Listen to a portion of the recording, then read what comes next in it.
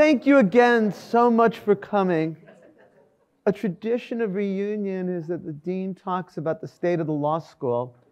And I think I have really good news to deliver that I think this is a moment when the state of the law school is very strong. Every institution, including every law school, goes through ups and downs.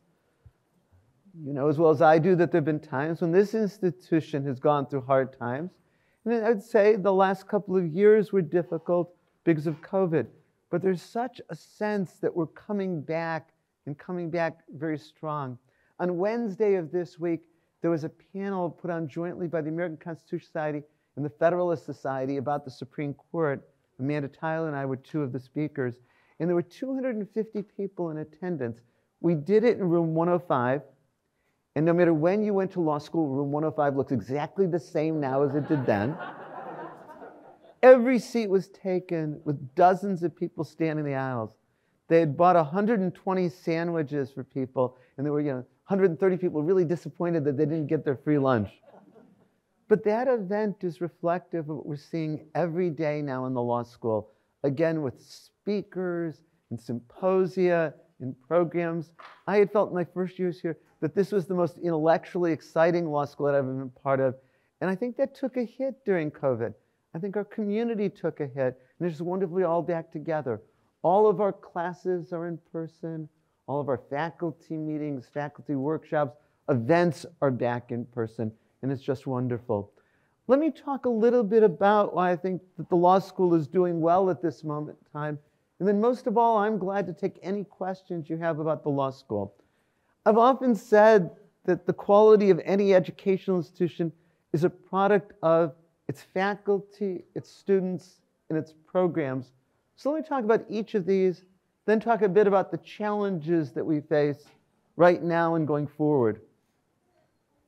In terms of the faculty, we really have a terrific faculty.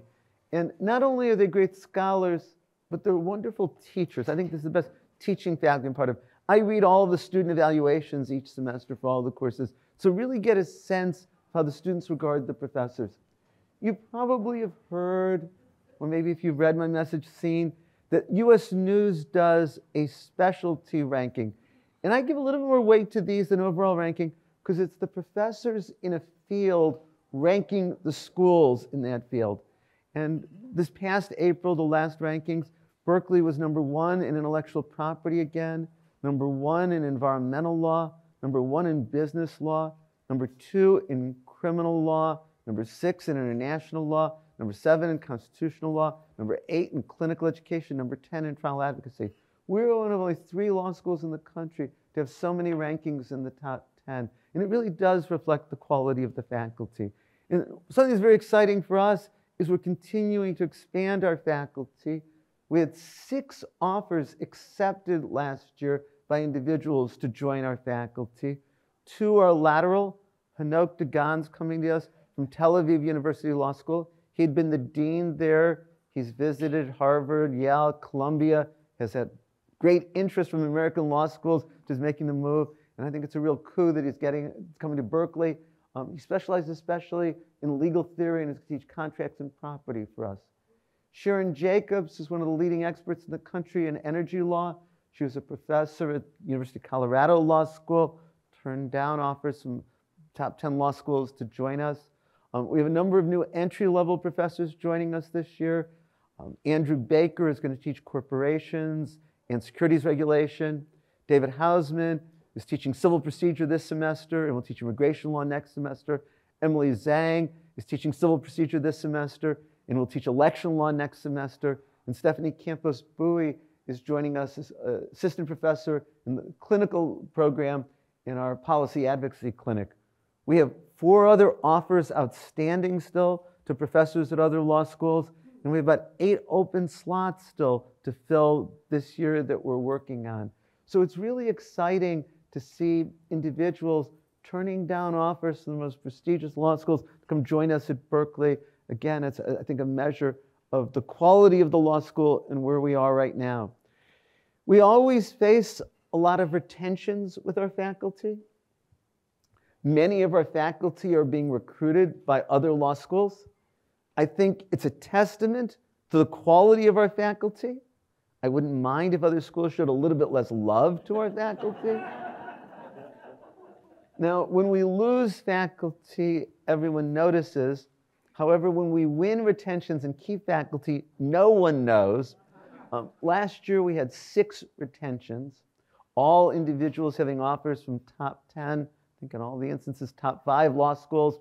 Um, we kept three of the six. We lost three of the six. But it's something we're going to constantly continue to face. Um, but that's the faculty and where it is right now. And we're continuing to expand, continuing to recruit just terrific people. In terms of the students, by every measure, the quality, the diversity of the students is increasing. Um, let me talk about the traditional measures of quality, the median LSAT and median GPA. This year, we have the highest median LSAT in the history of the law school. It's a 170 median. For those of you who went to law school when I did, when it was a different scoring system, 170 is really good. Um, we're one of only a few law schools in the country that have median 170. Maybe I can put it in context this way.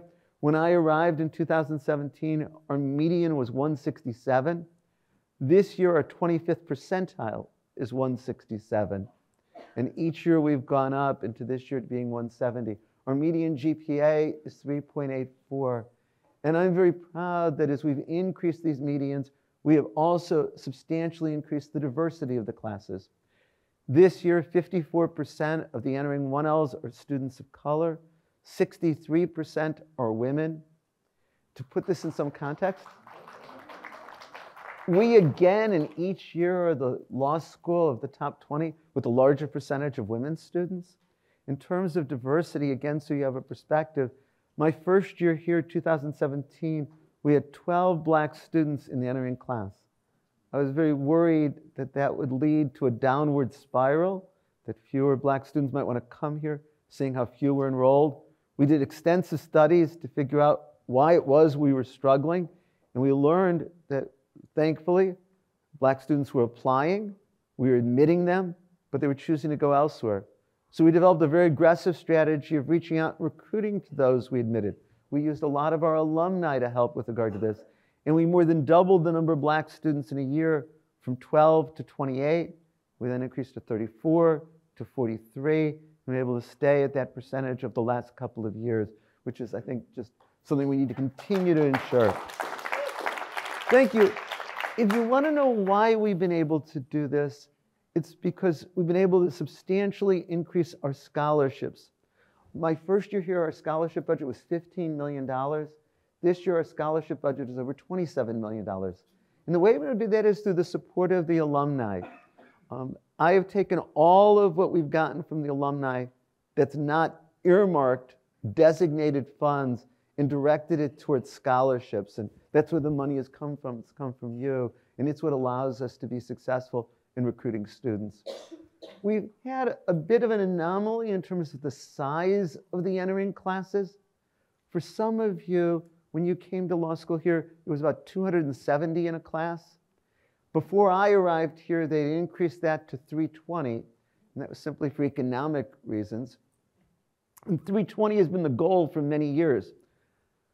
Two years ago, 320 was our goal, but we were worried that there was going to be a lot of students deferring because we were all online the 2020, 2020 year.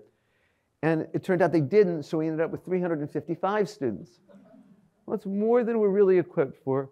So we decided last year to really come in no more than 320 and probably a little bit less.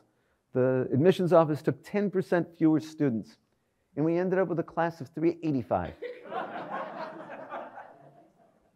we had the highest yield in the history of the law school. Usually we yield about 30 to 32%. 40% of those who we accepted chose to come. Now, our CFO, Shivani Bhatia, was thrilled at this. but we're not equipped for 385 students. We don't have the classrooms for it. We don't have the faculty for it. We don't have the lockers for it. We don't have the bathrooms for it. But we created an additional super mod we created additional legal writing sections to accommodate it. We looked at it as a wonderful embarrassment of riches to have these additional students. Um, And we decided that this year to take advantage of having a 3L class of 355 and a 2L class of 385, and we've set as our target 275. And so we have 279 1Ls this year. Um, I wish we could sustain that economically. I think it's a better number. I don't think it's financially sustainable. I think we're going to need to go in the long term to 310 to 320 is our annual 1L class. Um, we have 240 LLM students, what we call the traditional track LLM program. That's the students who come from August to May. We also have an executive track LLM program that is about 150 students. They come for either two summers or one summer and do the rest online. And the final part of what determines the quality of any educational institution is the programs. And for us, I think our programs are particularly geared towards our public mission. If you ask me what most distinguishes us from other top 10 law schools, it is our public mission. And this is reflected in so much of what we do. One of the statistics I'm most proud of with regard to Berkeley is that last year almost 95% of our 1L students did pro bono work. And I challenge this year's class to beat that and make it as close to 100% as possible. We continue to provide grants to every student after the first year, after the second year, who wants to do public interest work. I've decided to call these Edley grants in honor of our wonderful prior dean, Chris Edley. Yeah, um, we provide fellowships to a number of students after they finish law school. In fact, over the last few years, we've increased our funding for our public service programs for students by $1.8 million. Um, we're going to have to come up with an additional million dollars next year to make up for a, the University of California Office of the President ending a program that's been supporting us. But it's just crucial to who we are. Just this week, we approved changes on our loan repayment assistance program this might affect some of you or part of that. It will make us the second best LRAP program in the country behind only NYU. And so these are really important for, for us and what we're doing. We're expanding our clinical program. We have a terrific clinical program. And I, some of you attended the session this morning about the death penalty clinic. Many of you participate in the clinics while you're here. But our clinics are too small relative to the size of the school. So a year ago, the provost approved our hiring five additional clinical professors over the next five years. Stephanie Campos-Bui, who I mentioned, it was hired in the policy advocacy clinic, the first of these. We just in the last two weeks interviewed three candidates to join our environmental law clinic as a clinical professor, sorry, National Life First, and one in each of the next three years. Our centers are integral to what we do, and certainly integral to advancing our public mission. And so, in this regard, some of you have been involved in the Berkeley Center on Law and Business, the Berkeley Center on Law and Technology, the Center for Law, Energy, and the Environment. We have a wonderful Henderson Center on Social Justice. We've created a number of new centers just since I arrived. There's the Consumer Justice Program. There's the Berkeley Judicial Institute that Jeremy Fogel left the bench to head up for us. We have the Civil Justice Research Initiative and I can give you a coming attraction within the next few weeks or months. We'll be announcing we're going to create a criminal justice center here. And we're going to create, and I don't know if we'll call it an Indigenous People Center or an Indian Law Center. Seth Davis and I were just talking about that at the end of the program. And so these are all really carrying forward our, our vision and, and our involvement in the community. So you put all this together, you can see why I say I think that this is just a really good time for the law school. Um, so what are the things I'm most concerned about regarding the school? Well, I'll list three before taking your questions. One is I'm always concerned about money. The reality is that at this moment in time, we get only about 5% of our budget net from the state and from the University of California. All of the rest needs to come from tuition or from what we raise. And it's a challenge. I mean, we don't have the involvement, endowment of the schools that we compete with. Um, I wish it wasn't the case that our tuition needs to be at the same level as those schools. We're still the least expensive of the top 10 schools, but for both in-staters and out-of-staters, our tuition is over $60,000, and that's going to have to go up. and there's just no alternative. For a public university, there's only three choices. The state subsidizes, or you raise tuition, or you cut quality. And we're not going to cut quality, and the state isn't subsidizing, so we have to raise tuition. And yet, the resources are always an enormous problem in this regard. I'm proud that we've been able to increase our development efforts, but we still need to do more. Um, when I came, our, we were raising about $18 million a year. This year and last year, we raised about $30 million. We need to increase that in order to be competitive and remain of the quality we want to about $50 million a year in terms of what we raise. I am really pleased that we have a new assistant dean for development alumni relations who I think is exactly the right person to do that. Veronica, are you in the room?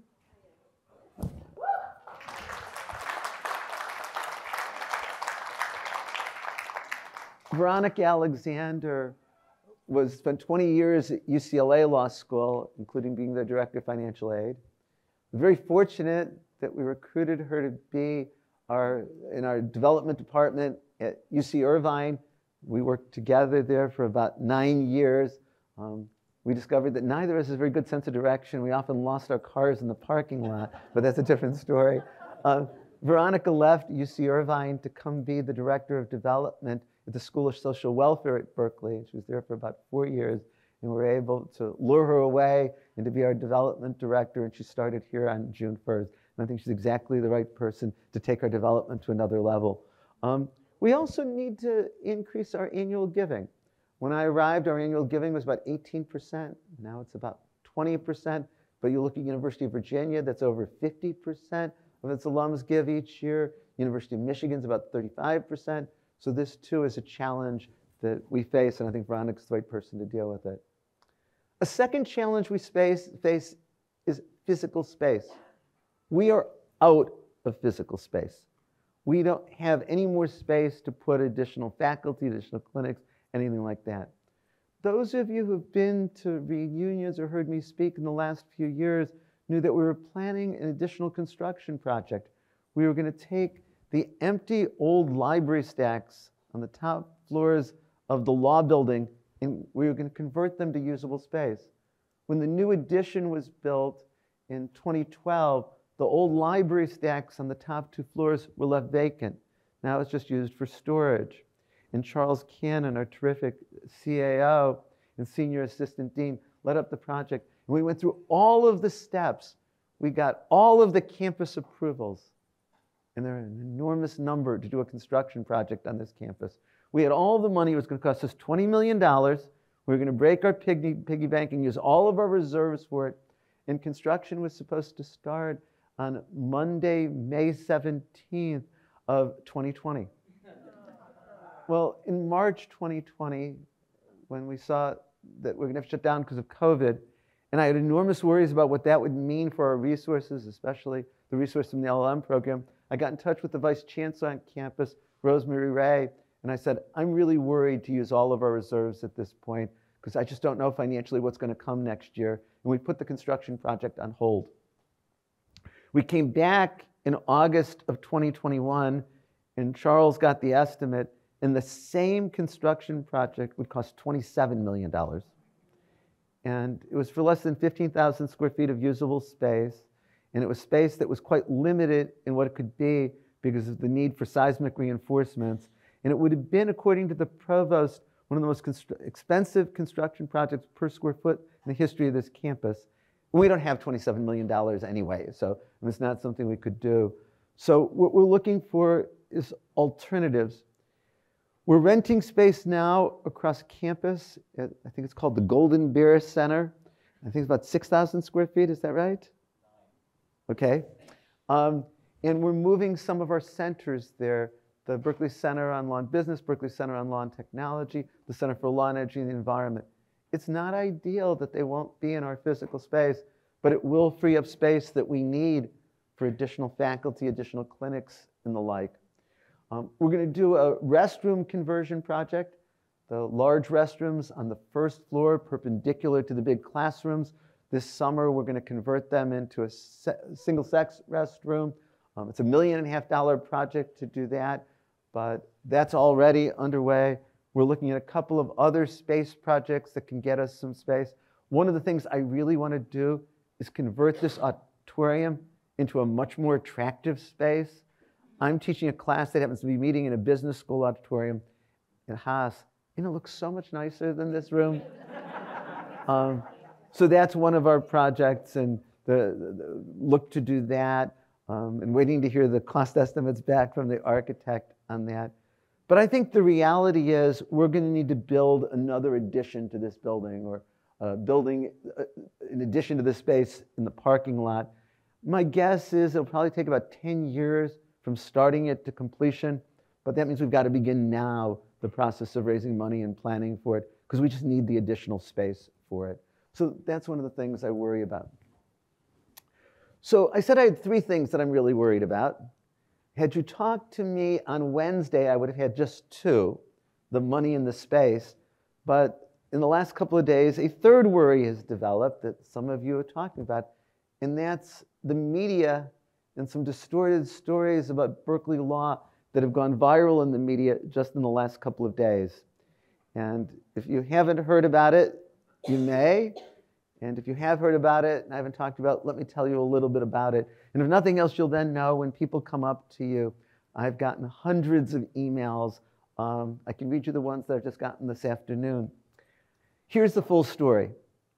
On the first day of the new semester, August 22nd, a student group, Law Students for Justice in Palestine, asked every student group to add to its bylaws a statement condemning Israel. They wanted the statement to be that the groups would promise not to invite speakers who supported Israel's, quote, apartheid policies, that they supported the boycott, divest, sanction movement, and they would have their members go through training about the plight of the Palestinians. I learned about this at four o'clock on the first day of the semester. I immediately reached out to students, especially the students of the Jewish Law Students Association, met with a number of people, and I sent a message to all the student groups on Thursday morning of that week, um, where I said students certainly have free speech rights, but I was very distressed by their message. We're committed that all views and ideas be expressed. To say that they won't invite speakers with certain views is inconsistent with our policy. I said that, um, as Chancellor Christ said, the boycott, the sanction movement is a threat to academic freedom, and that we want to be a place where all ideas and views should be expressed and that I hope when student organizations make a choice of what to do, they'll keep this in mind. I was pleased that no additional student groups adopted the bylaws after my message went out. About nine groups, and we have over 110 student groups, had adopted it up until then. The Jewish Law Students Association the following Monday put out their statement. This got some media attention at the end of that week, August 22nd. Especially, there was some coverage in the Jewish press. I wrote an op ed for one of the Jewish newspapers explaining what had happened. Um, and the issue seemed to largely fade away. That after middle of the second week of school, I didn't hear anything about it from the students. No additional student groups adopted the bylaw. They either rejected it or ignored it. Um, the media coverage died down. And in fact, I got an email on Wednesday night from somebody in the campus communication saying anything happened. I said, no, thankfully, the issue has faded. On Thursday, an article appeared in the Jewish Journal that's titled Berkeley Creates a Jewish Free Zone. And the article said that because of the policies adopted by student groups, Jewish speakers are no longer welcome at Berkeley. The article had nothing to do with the reality of what was happening in the school. No one, to my knowledge, has been excluded from speaking. No one has been discriminated against. No students have complained to me about discrimination. No faculty have complained about discrimination. This article quickly went viral. It got picked up by Fox News. Um, Barbra Streisand tweeted about it yesterday. Um, there was a statement on Reddit this morning that I'm not Jewish, though my name is Jewish. Um, I am Jewish, by the way. Um, um, I've gotten a, a, an organization in New York said that they won't hire any of our, they're going to encourage law firms not to hire any Berkeley students until Berkeley changes its discriminatory policy. We don't have a discriminatory policy. Um, I've written an op-ed that's going to appear in a newspaper. I wrote a letter to the editor of the Jewish Journal that appeared. Um, the truth is, at this point, less than 10 student organizations of 110 adopted bylaw.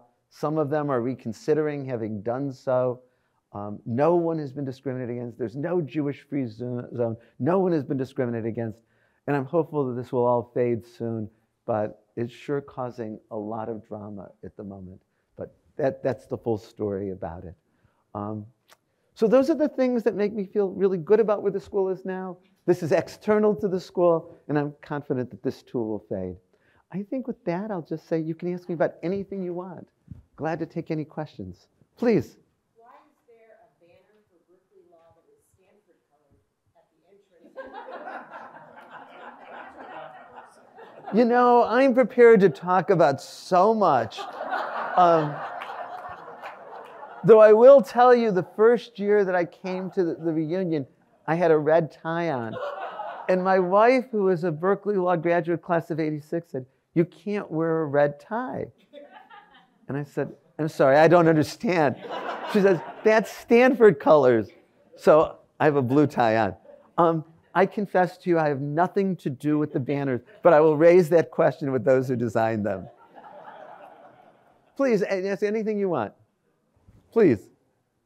Change the age discrimination policy you and I talked about the other night at Melbourne. We have no age discrimination policy. Is, What we talked about? You have no 80-year-old entering students. You have no percentage. but as I said to you, uh, we did alumni receptions in Los Angeles on Wednesday night and Thursday night. And one of the wonderful things is just going to be in person for things like that and things like this. But as I said, we have accepted, to my knowledge, 100% of the 80 year olds who've applied to the law school this year. uh, uh, uh, by the way, if you are interested in the average age of the average age of the entering class is 25 years old. I think the oldest entering student this year is 43. Um, but if you know of 80 year olds who are interested in coming, we don't engage in age discrimination.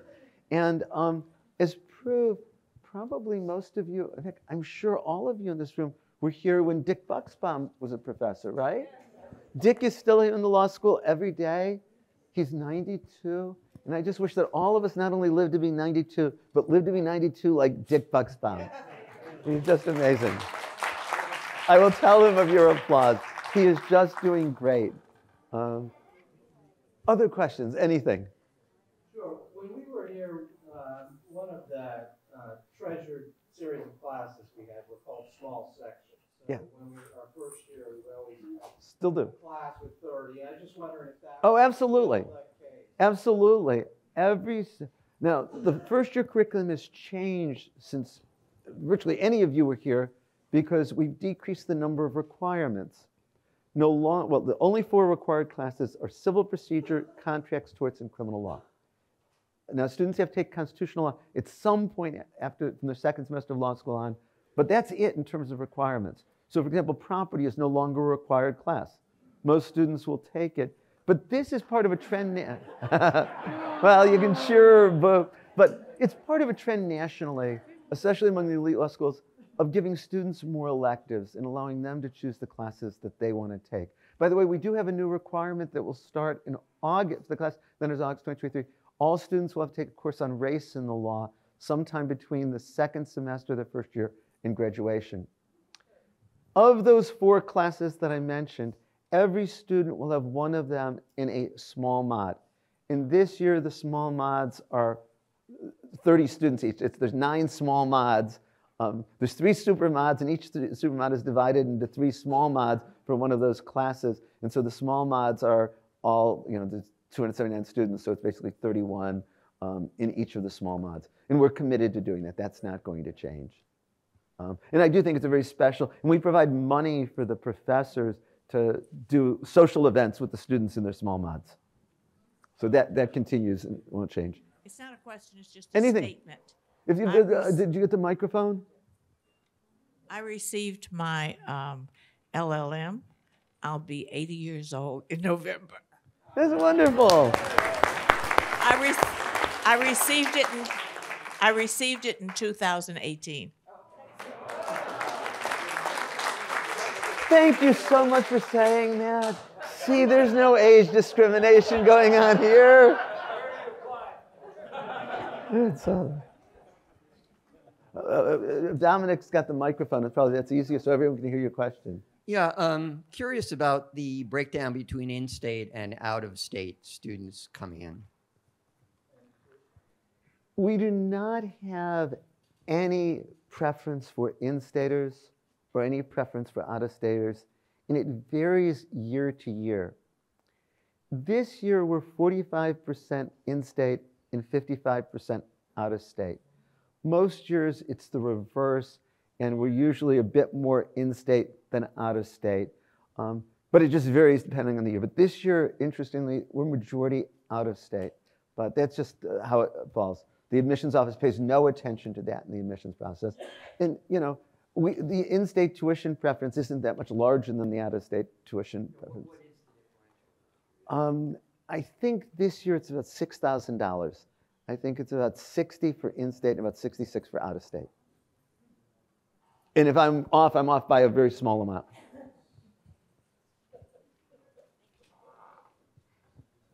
Why do you think a lower percentage of Berkeley Law alums contribute than the percentage at other schools? Good question. I've spent a lot of time thinking about that, and I think there's many things. I think Berkeley was relatively late, even compared to other public schools, in coming to the recognition of the need to engage in fundraising. That because the state was subsidizing, it wasn't perceived as necessary. I think we have less history of having the infrastructure for development. And we, I think we've tremendously improved that, um, but we still need to further expand our development staff and, and in, in that way. I don't think Berkeley has historically done a very good job in instilling in students from the time they arrive that they're going to be expected to give back. I spent 21 years at the University of Southern California on the faculty. They instill in students from the moment they arrive on campus that you're going to be expected to give back. One of the things that our development office has done a wonderful job in the last few years is beginning to do that. They've created a program called Berkeley Alumni in Residence. Um, every Monday, they provide coffee to the free coffee to the students. Erin Deneen does a great job in running this program. Um, they do a, it, for first semester students before their first exams, give them a, a care package uh, from the development office. They do a midway through law school, halfway through law school party. All things that have just developed is part of instilling in them. Um, my predecessor in this role, Melissa Murray, who was the interim dean, said, you know, she went to Virginia as an undergraduate and then was here at Berkeley Law School. She says, you know, people go to Virginia to embrace it, and people go to Berkeley to fight the man. And so it's just harder to get people then to embrace it in, in, in annual giving. Um, I think some of all of that contributes. I'm pleased that it's increasing, but we, we need to do more. Um, and, and I think our ability to continue to be a top law school is going to depend on our ability to raise the money because there's a cap to how much we can do through tuition. Dean, um, what what are you doing, or what have you done since we were all in law school about getting students more practical education in their second and third year? I think compared to when many people here in law school, there's been a dramatic expansion in the clinical programs, a dramatic expansion in the field placements, and an enormous expansion in the pro bono program. Let me talk about all of this. Our clinical program has two wonderful components. One is the East Bay Community Law Center, and the other is our in house clinics. And I would say probably close to 70% of our students will do a clinic while they're in law school here through either one of those things. And as I say, we're, we're hiring five more clinical professors in the next five years, and then staff attorneys and fellows to support them. So that will further expand the clinic program. We have a terrific field placement program where students get academic credit for working in judges' offices, um, public defender's office, prosecutor's offices, public interest. And Sue Schechter does a magnificent job of that. And every year it's grown. And I think we're now close to about 130 students a semester are doing that program. And then there's the pro bono program, where students are doing pro bono work under the supervision of a lawyer. And as I said to you, last year, almost 95% of the first year students did one of these, which we call the SLIPS program. Um, we hired a full-time director, Deborah Schlossberg, who does a great job with it. We've given her additional staff. So you put those things together, there's virtually no student here who won't have some practice experience under the supervision of a lawyer before graduating. But we need to do more. Our clinics are too small relative to the program that we have. We do need to provide more opportunities. I'd like us to see to the point where we have enough clinical opportunities that every student can do a clinic while here. And if it were up to me, I would require every student to do a clinic in order to graduate. I had the wonderful opportunity for coming here of being the founding dean of the law school at University of California, Irvine, and it requires every student to do an in-house clinic before graduation. We don't have the capacity to do that. We're ways away from that. But I think compared to what it used to be, even compared to what it was five years ago, there's been substantial expansion. Yeah, Dean, uh, you are a constitu- constitutional scholar. Uh, in California, why is it that we have such a hard time getting our alums appointed to the California Supreme Court?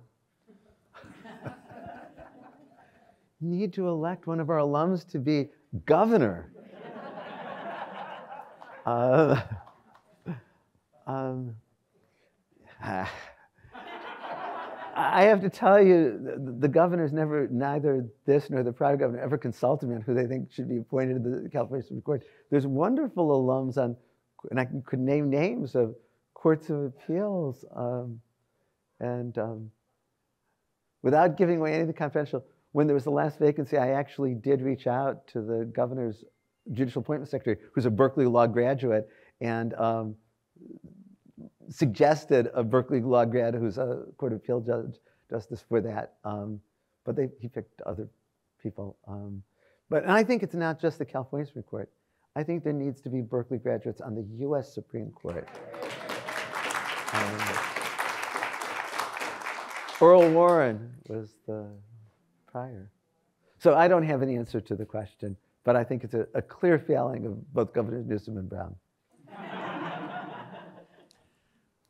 Hi, thank you. Uh, I was wondering what your views are on the future of OCI in hiring of law students. Um, at least at my firm and many of my colleagues' firms, it's happening earlier and earlier. And this year we hired almost entirely before OCI even started.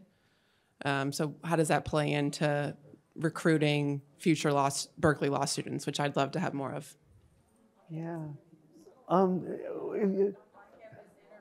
right. OCI is on campus interview. And when some of you went to law school, it occurred right at the beginning of the semester. And I'm seeing nods. And then it got earlier, and then it became before the semester and goes on at the beginning of August. And it still goes on. And a large number of law firms, a small number of government and public interest places participate, and a very significant percentage of our students participate and get summer jobs through it. But as the question indicated, more law firms are deciding to hire outside of the OCI process. And you said your firm did almost entirely before. I'm not thrilled with that development. I mean, I think the nice thing about OCI is it provided a very regularized process. The place of employment indicated that they were going to come and interview. Students signed up. We had a process for that. And it was very open to everybody to participate. The more it goes on outside of OCI, the less it's open to everybody. Um, there's another development that I think is a bad one, but the market is dictating it. Until this year, first year students were told that they couldn't work with the Career Service Office till December 1st. And after December 1st, they could then work with the Career Services and apply for jobs. And this was trying to get first semester students not to focus on jobs, but to focus on the very intense experience of the beginning of law school. The market made that impossible. This year, there's no time limit because what we found was that we could say don't apply till December 1st, but they were applying in September, and places of employment were reaching out to them. And so, what we can do now is try to advise them. They don't need to worry about it. They don't need to. If they are, here's how to go, to, go about it. So, I think what your question indicates is, is that we don't control the market. You know, law firms can recruit when law firms want to recruit. Students can apply when students want to apply. But the less it is a regularized process open to everybody, the more I think some will be at a disadvantage. And I mean, I'm the first in my family not only go to go to law school, the first in my family to go to college. I didn't know any lawyers until the first law professor I met who was a lawyer. I would have had no idea how to apply for a job, but for there being a regularized process. And I think that there will be a disadvantage to first generation students who don't know this is how you apply to law firms or this is what they're doing, other than OCI made that much more regularized. But I think with the law, to answer your specific question, the law school has to adapt to the market. What we want to do, my goal as a dean is try to help every student find the job that he or she most wants. For the students who want to go to big law, I want us to help them. For the students who want to go to public interest or government, I want to help them. For the students who want to go to clerkships, we want to help them. That's what our goal is, and it should be. Dominic's got the microphone. There seems to be, or at least there's a perception that around the world right now we have a real issue with polarization and populism, right? And lawyers, we've sort of seen in the last couple of years, especially January 6 hearings and all that, lawyers are among the people that are supposed to be holding up the rule of law and preventing people from just getting the results they want, certain people like president, et cetera. Any event, there's also a perception that Berkeley is, is more left than any place else and more activist, and that perhaps it's not about the rule of law, which I would disagree with. But I'm just curious is there, you know, obviously all of us in this room should believe in the rule of law as opposed to just getting what we want. Of course, we may want to use the rule of law, we hope for certain outcomes.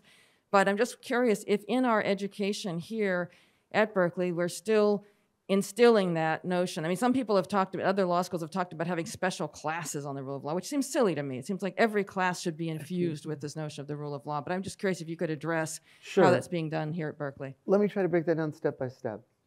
I want Berkeley Law to be a place where all ideas and views get expressed and discussed.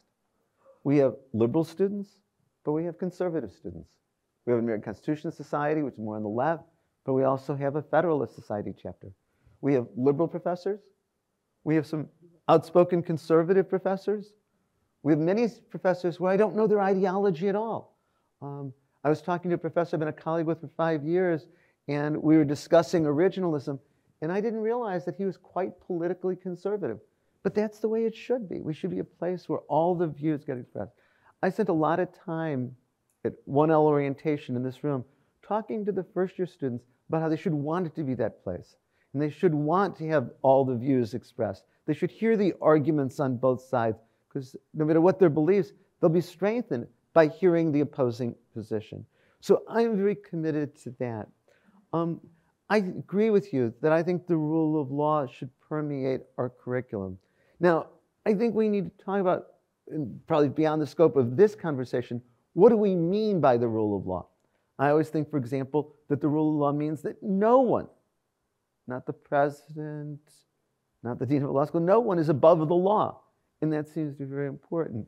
The rule of law seems to me that we follow procedures even handedly, that the rule of law is one way in which we're supposed to have protection from discrimination.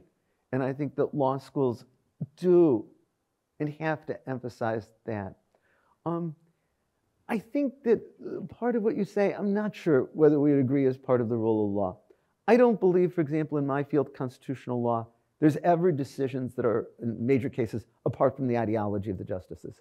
I don't think there's value neutral judging, certainly when it comes to those kinds of cases. Um, Marbury versus Madison wouldn't have come out the way it did, but for John Marshall. From the 1890s and 1936, the court struck down 200 federal, state, and local laws protecting workers and consumers because of the conservative ideology. The Warren Court decisions were the product of the ideology was on the bench. And the cases we were just talking about. If Hillary Clinton had won as president in 2016 rather than Trump, and had she replaced Justices Scalia, Kennedy, and Ginsburg, Roe versus Wade wouldn't have been overruled. The gun case wouldn't have come out that way. Um, so I don't believe that the rule of law is that there's constitutional law apart from the ideology of the judges, because I don't think that's possible.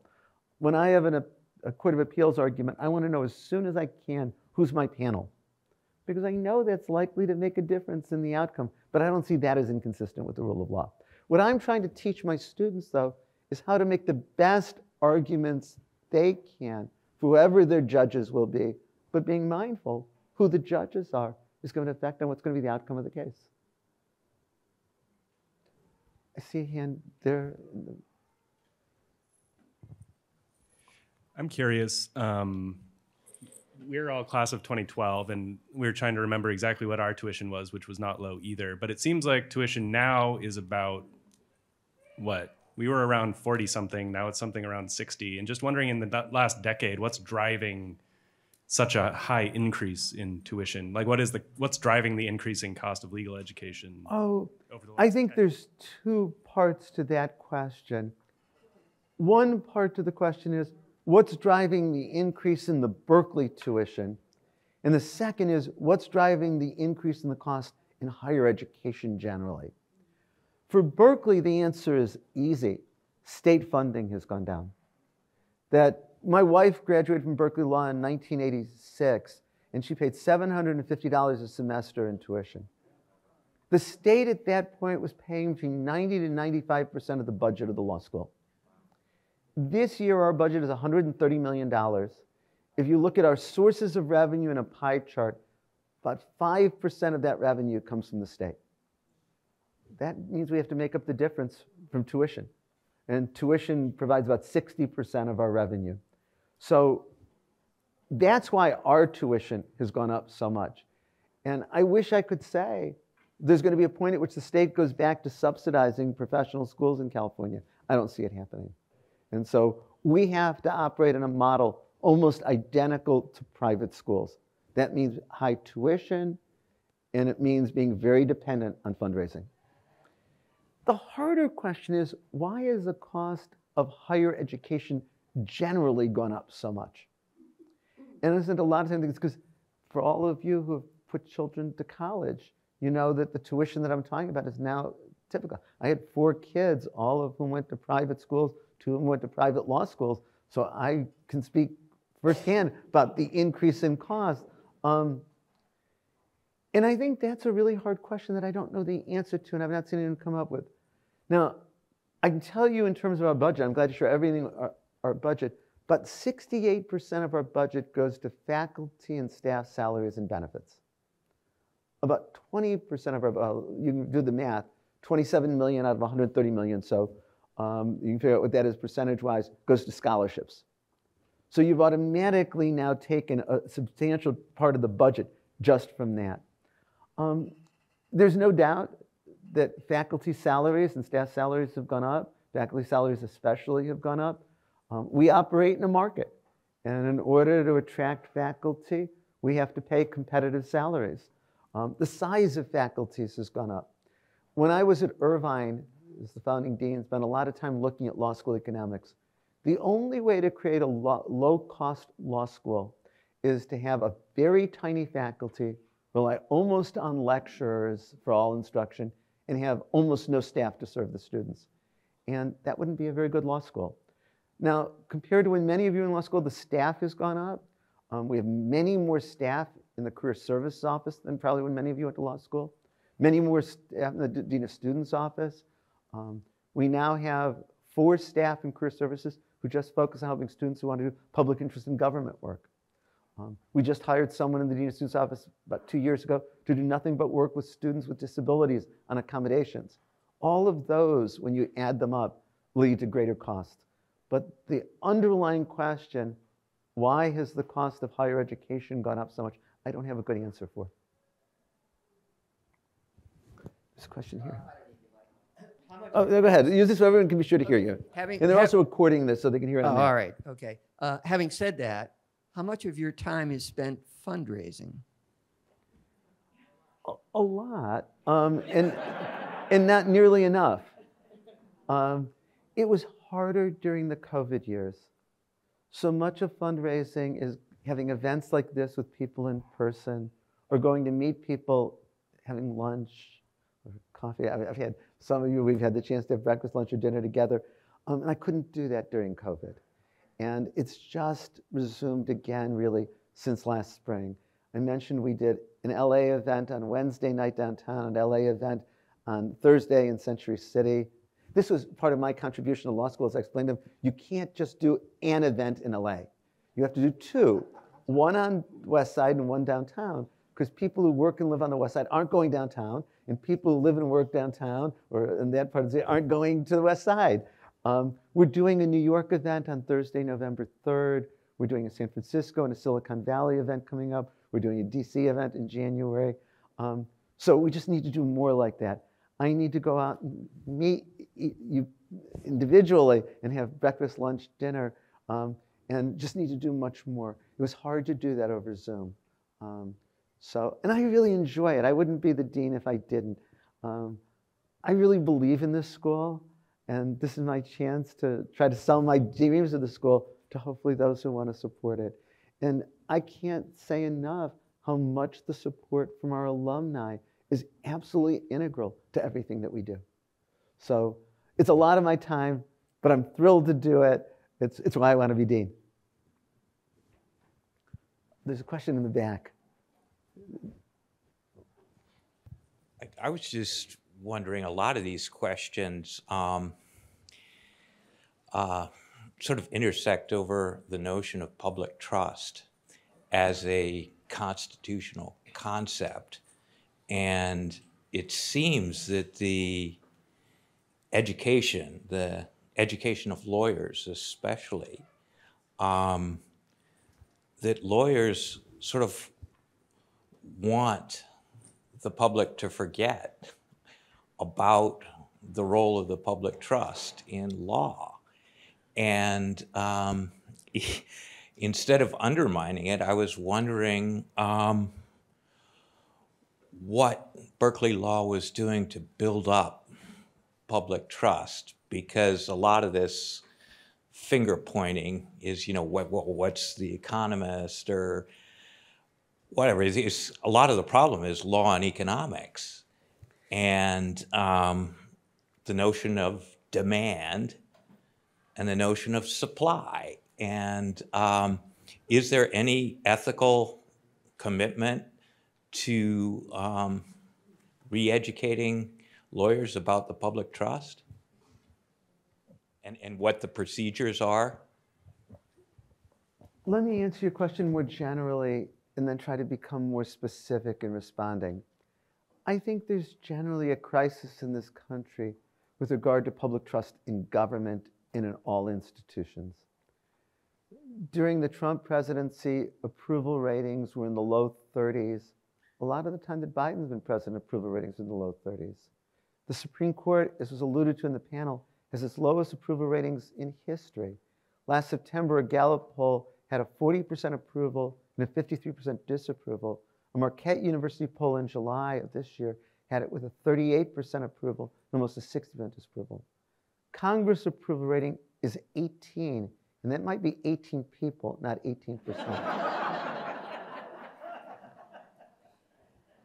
I don't think this is a short term phenomena.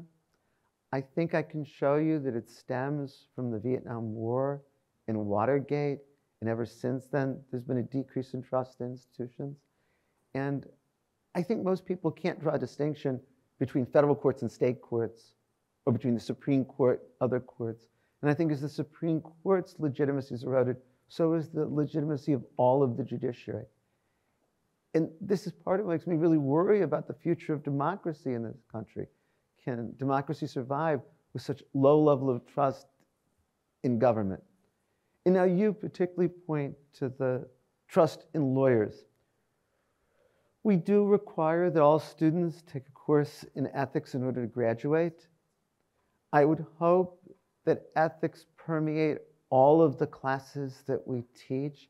I don't think it can just be assigned to one course in the curriculum. I've talked with some who are in this room about the possibility of creating a center here at Berkeley that relates to ethics and government.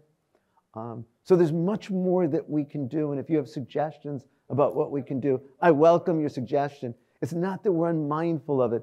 Um, I think the question is, what can we do that would most make a difference? And I welcome ideas. Uh, could Berkeley Law could Berkeley Law significantly increase its student body by using more reliance on distance learning? No, we can't, and I can explain why. And no, we shouldn't, and I'll explain why. The can't is ABA rules impose very strict restrictions on distance learning. The ABA suspended those rules during COVID, but they're not going to continue to suspend the rules. Now I'm going to tell you, even if they suspended the rules, well, I don't think we should. And it's the experience that COVID taught at least me and many of my colleagues. We can teach by distance learning when we need to, but it's not the same educational experience as in-class learning. Um, I taught classes all of two years ago, as did all of my colleagues, that were entirely online. Um, I that year taught federal courts in the fall and constitutional in the spring, and I taught three seminars that year on civil liberties in a pandemic, for one for 1Ls, one for upper level students, and one for LLM students. I did it, but it wasn't the same as being in the classroom. Um, and I think that if you talk to my colleagues, the overwhelming sense was that something is missing in terms of what you can do in a classroom and the engagement in the classroom that you just can't get through online education. So we very much made the choice to embrace in-person education. Um, our position is that the first year of law school is inherently interactive and participatory, and students have to be here. There are some upper level classes that, like trial advocacy, that are just interactive and participatory. And there are some upper level classes where remote options might be possible. But overall, I think we're really going towards embracing there's something special about being in the classroom and being in the building together. Um, so again, we can't do it because of the ABA, but my experience as an instructor is I don't think it's the same, and I don't think we should go down that path. There may be schools that will make a different choice than that. And I, I don't know how much, even if we could, it would help our revenue, because if you do it, there's all sorts of costs that we learned two years ago attendant to being online education. With that, let me just say thank you so much for being here. I look forward to being at the reception and coming to all your dinners tonight. Thank you.